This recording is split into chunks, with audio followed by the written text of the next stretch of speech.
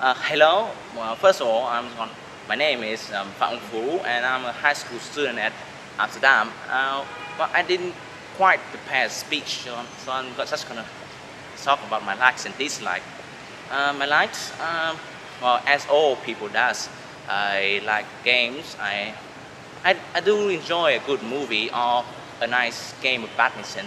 I, I don't like English at all. I just find it as a tool. I don't see it as a tool, and I intend to stop learning it once I get to my destination. And uh, my achievements, um, there's not much to tell because really I'm uh, I, have, I have no actual achievements at all.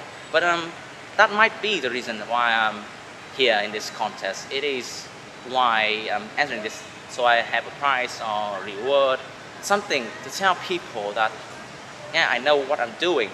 I'm just too lazy to do anything at all.